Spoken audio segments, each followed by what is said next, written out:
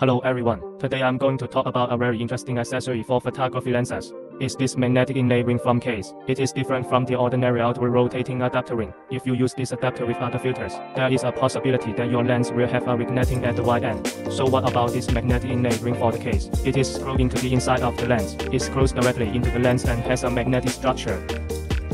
When you have finished installing this magnetic inlay ring, you can add magnetic filters to the top.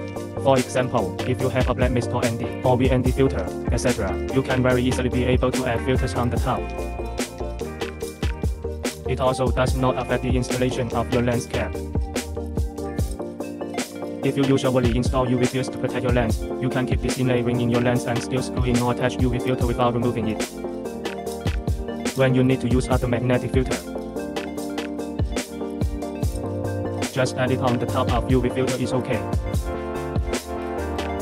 For example, with this black mist filter, you can set it up and take it off easily. At this time, your UV filter is still on it.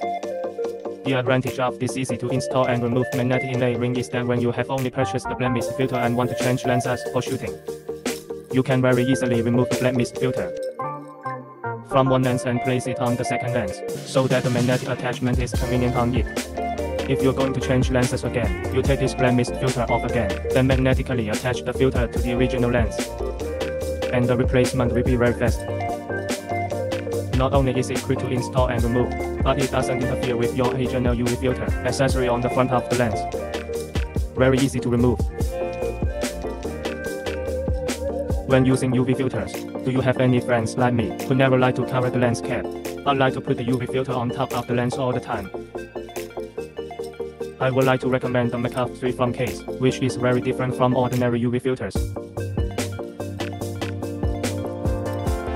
I compare Kase's Makeup 3 and regular UV filters to assess image quality, anti-glare, and UV anti-ghosting.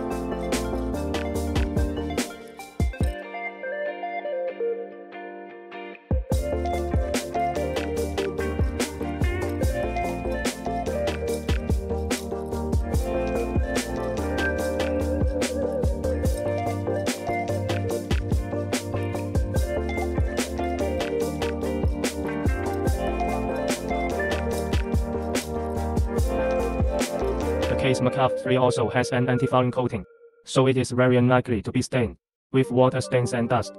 Finally, I recommend to everyone that for the set I am using now, I first remove the Kase UV filter screws into the lens.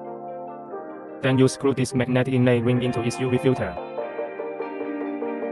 Then install the other filters. For example, light black mist or ND filters are very convenient, do not need me to take down the UV filter to have a magnetization on it.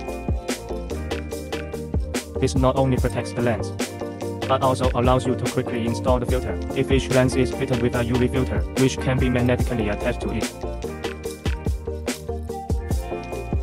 With my black mist filter, I can be easily changed from one lens to another, and it wasn't necessary to take off my UV filter either.